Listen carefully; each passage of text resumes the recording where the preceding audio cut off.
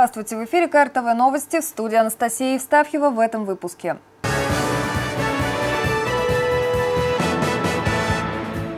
Снегопад как стихийное бедствие. Двумя КАМАЗами весь город убрать невозможно. Почему коммунальщики Красногорска не успевают за капризами природы? Истинно международный. Женский день отметили в бизнес-центре Гринвуд. Ощущение такой полноты жизни. Дороги, велодорожки и парковки. Нужно точно понимать, какие у нас проблемы есть. В администрации района разрабатывают комплекс мер по устранению недостатков. Настоящий коллапс случился сегодня на дорогах Подмосковья. Снегопад, который обрушился на столичный регион, побил полувековой рекорд по количеству выпавших осадков. Как результат, стали не только основные трассы, но и муниципальные проезды. Например, сегодня утром автомобильные заторы наблюдались на улице Карбышева в Красногорске. И только ленивый, пожалуй, не вспомнил старую шутку про призыв ДПС отказаться от личного транспорта, на который откликнулись только коммунальщики.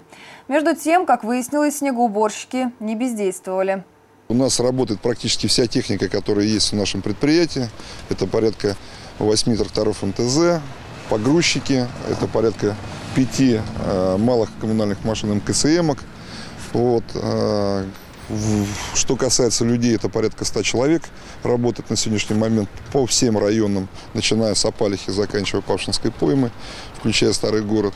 Значит, э, снегоуборочная у нас машина одна, вот так называемая «Золотая ручка», которая работает с нашими КАМАЗами по вывозу техники. Вот они начали вывозить с Красногорского бульвара. И продолжим в течение дня, наверное, на круглосуточном режиме. И плюс мы в готовности в связи с перепадом температуры после обеда в плюсовую, э, в плюсовую зону. Вот, как по синоптике обещают до плюс 5 и к вечеру ливень обещает. Значит, мы в готовности вывели всю технику по э, откачке воды. Как рассказали в Красногорской городской службе, на ликвидацию последствий снегопада были брошены все силы и средства по регламенту к уборке проездов, дорог и расчистке тротуаров и лестниц. Коммунальщики должны приступить с начала снегопада. На полную уборку Госадмтехнадзор дает по закону ровно 12 часов. Почему в норматив зачастую не укладываются, красногорские коммунальщики объяснили нехваткой тех самых сил и средств. Естественно, конечно, мы ощущаем катастрофическую нехватку техники для того, чтобы такую территорию можно было своевременно и быстро убирать. Идет небольшая задержка по времени, вот, то есть там, где мы должны в течение там, одного дня все убрать, фактически мы убираем там, за один, за два. Вот максимум. Ну и то же самое по вывозу снега. Двумя КАМАЗами весь город убрать невозможно. Да? То есть у нас всего лишь э, два КАМАЗа самосвала, которые работают на вывозе снега. Вот, с учетом того, что у нас площадка определена в районе Митина. Поэтому есть определенные в этом вопросе. Вот. То же самое э, касаемо э, людей, то есть мы вынуждены на сегодняшний момент привлекать подрядчиков, которые работают, вот, потому что штат предприятия на сегодняшний момент не полностью укомплектован. Вот, в связи ну, есть объективные и субъективные причины, поэтому вот. это и подбор персонала, конечно, не самые лучшие люди идут работать дорожными рабочими, вот, соответственно, и плюс, конечно, по оплате труда. Вот все-таки у нас бюджетное предприятие, поэтому не можем там ставить те зарплаты, которые люди хотят получить вот, при всем желании. Да? Вот, все-таки оплата дорожного рабочего – это порядка 16 тысяч рублей в месяц, чтобы было понимание. И целый день с лопатой в течение месяца работать, не всякий на это дело согласится. Зона ответственности Красногорской городской службы – муниципальные дороги. Федеральные и региональные, такие как Волоколамка, Ильинка, Новая Рига, также были расчищены. Об этом сообщили в пресс-службе ГУДХ Московской области. Из-за погодных условий дорожный комплекс региона работает сегодня в усиленном режиме. За минувшую ночь дорожные службы Подмосковья очистили и обработали противогололедными материалами 75% общей протяженности трасс региона. На дороге вышли 900 единиц техники. По закону о благоустройстве от снега и наледи должны расчищать не только проезды и проходы, но и детские площадки. Шесть из них, что находятся в Павшинской пойме, стояли в сугробах чуть ли не с самого открытия. Лед тронулся только после того, как жители микрорайона написали письмо-жалобу губернатору лично. Вот здесь находится пешеходный проход с твердым покрытием, конкретно из камня брусчатого. Вот он с твердым покрытием. Как вы видите, вся дорожка не очищена. Найти твердь под ногами – ежедневная проблема, с которой сталкиваются завсегдаты этой детской площадки. До качелей и горок еще добраться надо. Вот только дорожку поди поищи. Для ребенка даже 20-сантиметровый слой снега – вовсе не пролазный сугроб. Здесь вообще все было не расчищено, мы сами тут расчищали. Очень часто здесь прям мы как по льду здесь Сегодняшние забавы во дворе исключительно зимние. Слепить снеговика и посидеть в сугробе. Малышне не побегать, на турнике не повисеть, на лесенку не забраться. Особо настойчивые вместе с мамами откапывают самостоятельно качели. И такая ситуация еще на пяти площадках Павшинской поймы. На одноименном бульваре, на Подмосковном, на улице Игната Титова. Но так быть, конечно, не должно. Сейчас возбуждено 6 административных дел в отношении администрации. Это собственник э, администрации города Красногорск. Они их делали, они их благоустраивали. Но значит, при, приемка данных площадок осуществлялась э, ноябрь октябрь 2015 года. Э, и только в феврале месяце 2016 года администрация по представленным постановлениям передала на обслуживание данной площадки МБУ КГС. Красногорская городская служба площадки получила в обслуживание только в конце февраля и уже приступила к работам по очистке от снега малых архитектурных форм и дорожек. Это видно по соседней площадке, на том же Павшинском бульваре. Там дети уже резвятся без помех. Администрации города за свое бездействие придется заплатить в прямом смысле слова. Ненадлежащее содержание площадок стоит нынче 60 тысяч рублей штрафных санкций за каждую из игровых зон. Анастасия Евстафьева, Евгений Волков, Марианна Быстрова, КРТВ. При проверке недавно начавшегося строительства монорельсовой дороги «Стрела» в поселке Ильинское-Усово инспекторы Госантехнадзора вновь выявили нарушение. На этот раз отсутствие необходимого ограждения. Об этом, ссылаясь на начальника ведомства Татьяну Витушеву, сообщает пресс-служба. Строительство монорельсовой дороги от микрорайона Ильинское-Усово до метро Микинина с самого начала сопровождалось нарушениями. Еще в 2015 году инспекторами было выявлено проведение земляных работ на этом объекте без получения разрешения. Тогда сотрудники ведомства говорили, что строители могут повредить подземные коммуникации. Генеральный подрядчик Мортен РСО получил серьезный штраф, выявленные нарушения устранил, работы были продолжены после оформления всех необходимых бумаг. Но, как показала практика, одного штрафа оказалось недостаточно. В ходе очередного визита инспекторов на стройку было выявлено, что место проведения земляных работ не огорожено. Это является нарушением не только областного законодательства, но и элементарных правил обеспечения безопасности граждан. Выдано предписание, заключила Витушева. Михаил Сапунов провел рабочее совещание с главами поселений. В ходе встречи руководители обсудили важные вопросы, связанные с развитием социальной инфраструктуры, подготовкой генплана и работой портала «Добродел». Подробнее об этом в материале выпуска. В начале встречи Михаил Сапунов обратил внимание глав на развитие в районе социальной инфраструктуры. В частности, речь шла о дорожной деятельности. Глава муниципалитета попросил коллег подготовить и предоставить ему перечень дорог, тротуаров, велодорожек, которые будут созданы или отремонтированы в 2016 году. Также руководитель муниципалитета поднял вопрос о реализации программы «Доступная среда». Я хочу понимать, что поселение мы делаем в течение 2016 года по доступной среде на территории ваших поселений. То же самое, представить информацию э, таблично, в картах, схемах, э, в денежных средствах, квадратных метрах, кубах, так, чтобы мы все едино свели, понимали, что делается по доступной среде.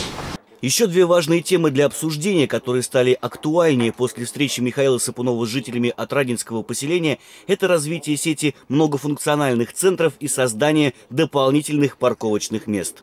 Готовится э, документация по созданию парковочного пространства вообще на территории всей Московской области. Надо же точно понимать, какие у нас проблемы есть. Во-первых, э, вы вместе с э, Касаем разберитесь, какой у нас норматив и дефицит по каждому поселению существует парковочного пространства. Это в большей степени, конечно, касается у нас Красногорска, в меньшей степени, наверное, касается Минского. Не обошлось сегодняшнее совещание без обсуждения сайта «Добродел». По словам Михаила Сапунова, работа с данным порталом в муниципалитете налаживается. Красногорский район уже вышел из красной зоны. Но этого недостаточно. Жалоб, на которые нужно своевременно реагировать, меньше не становится. Особенно это касается Красногорска и Павшинской поймы в частности. Максим Мельников, Никита Рощин, Марианна Быстрова, КРТВ. Женский день в Красногорском районе решили сделать действительно международным. Дам руководителей пригласили в бизнес-центр «Гринвуд», в котором развивается русско-китайское партнерство, чтобы поздравить с наступающим 8 марта. К слову, и президент делового центра госпожа Цай, как представительница прекрасного пола, сама оказалась в числе отмеченных подарками. Прием главы Красногорского района собрал в одном зале сильных женщин муниципалитета. В их руках бразды правления детскими садами, школами, больницами, бизнес-центрами, целыми предприятиями и подразделениями. О том, что должность директора или руководителя по силам слабому полу, говорили в стихах, в песнях и в прозе. Вы э, ну, руководите, наверное, самой сложной сферой. Вы руководите тем, чем не могут справиться мужчины. Мужчина выбирает, как правило, что полегче, вам остается что сложнее. Это дети, это пожилые люди, это все, что очень сложно, и самое главное, что это очень ответственно.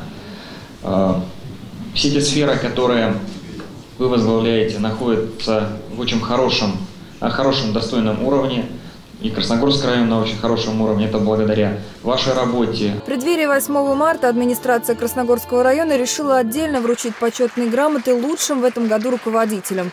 Среди тех, кто был удостоен награды, и госпожа Цай, президент центра Гринвуд. Ее организация была отмечена за вклад в социальные проекты района. Каждый год 9 мая бизнес-парка Гринвуд еще у нас есть другой проект торговый дом «Дружба». Мы каждый год поздравляем ветеранов э, с подарками. Э, то, что они просят, э, то, что они нужны, э, одежда, э, продукты и так далее. В Гринвуде ценят возможность встречать Международный женский день в таком интернациональном кругу. Как отметила Цай Гойджу, представительниц прекрасного пола и китаянок и россиянок объединяет очень многое. Главное – любовь к работе. Да и поучиться у наших соотечественниц есть чему. Например, оптимизму и умению отлично выглядеть при напряженном графике работы. Работаю я директором Красногорской гимназии номер два. Сложно? Конечно, сложно. Сложность только в ответственности. Это огромная ответственность и большой объем работы. Но это любимая работа. Я директор Красногорского методического центра, и моя профессиональная деятельность связана с повышением квалификации наших учителей. Но поскольку учителя в Красногорском районе в основном женщины, то мне, конечно, с ними очень приятно и э, работать. Я работаю директором школы. Работа, это, конечно, очень сложная, очень ответственная работа, требующая большого напряжения сил. Но вместе с тем она дает огромную радость, ощущение такой полноты жизни. Самых прекрасных и, безусловно, сильных женщин эти два качества, как выяснилось, вполне совместимы, одарили песнями. И, конечно, с пустыми руками не ушел никто. Символические презенты и весенние цветы – все в этот вечер было для милых дам. Анастасия Евстафьева, Евгений Волков, Марианна Быстрова, КРТВ. А теперь о спорте.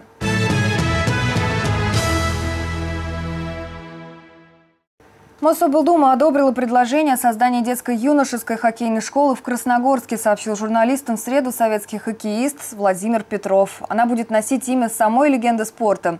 Это будет общеобразовательная спортивная школа с уклоном на хоккей. Предполагается преподавание всех предметов среднего звена образования, включая иностранные языки.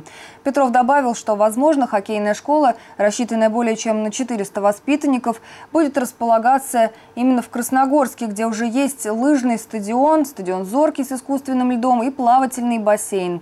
Ученики школы смогут пользоваться всеми этими спортивными объектами. Открытый турнир по кудо прошел на базе спортивно-оздоровительного комплекса Петрова Дальняя. Соревнования ежегодные каждый раз собирают любителей этого вида единоборств и не только Красногорского района и Московской области. Подробности у Валентины Титовой. Чтобы принять участие в одном из самых престижных турниров Московской области по кудо, в Петрово-Дальнее приехали более 150 спортсменов. И это далеко не все желающие, говорят представители Федерации. Среди детей это до 12 лет. Он проводится как фестиваль, мы его проводим. А здесь ребята участвуют э, до 12 лет. Есть э, и турнир также проводится после 12 лет, это другая категория. И мужчины, это взрослые э, ребята с 18 и старше. А, категория рост плюс вес. Мы объединяем, поэтому получается категория категории у детей 7, у юниоров 7, у взрослых тоже. Красногорск является центром этого вида единоборств, поэтому самая многочисленная армия кудаистов – жители нашего района. И у каждого свой путь в мир спорта. Когда я родился, у меня были проблемы с легкими, и мне надо было как-то какое-то движение.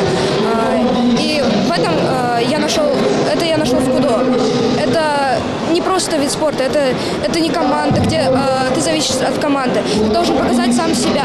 Ты зависишь э, от себя, ты думаешь сам. Кудо это не просто ну, вид спорта. Это в этом виде спорта ты показываешь свой характер. Ты можешь э, выплеснуть свои эмоции во время соревнований, во время тренировок, те, которые ты накопил во время дня. Вот это для меня больше всего значит. Турнир открыл титульный бой за звание чемпиона Красногорского района по КУДО 2016 года. Встретились давние друзья по жизни и соперники на татами Никита Брусов, представляющий городское поселение Красногорск, и Иван Мартя из Ильинского. В этот раз удача улыбнулась спортсмену сельского поселения, который вышел из поединка победителя. Мы как бы держались наравне.